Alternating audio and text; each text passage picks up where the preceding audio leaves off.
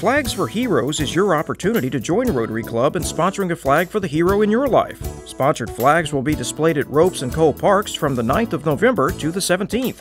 Each flag flown will have a recognition tag that includes the names of your hero and you, the sponsor. A special celebration will be held on November 11th at Ropes Park. Contact the Rotary Club of Corpus Christi if you'd like to participate as a sponsor. Rotary Corpus Christi, service above self.